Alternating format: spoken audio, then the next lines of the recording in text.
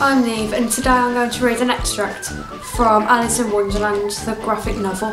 I think you should read this book because it is very creative and has a nice little spin on the original story. It looks like a madhouse alright. I almost wish I'd gone to see the Hatter instead. First, a quick nibble of the mushroom.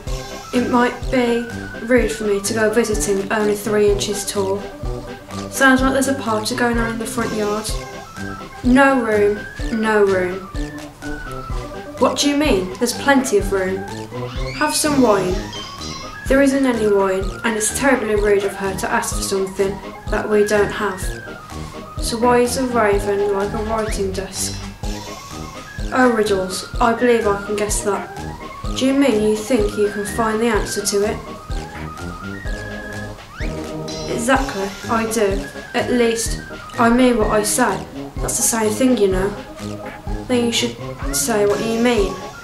Not at all.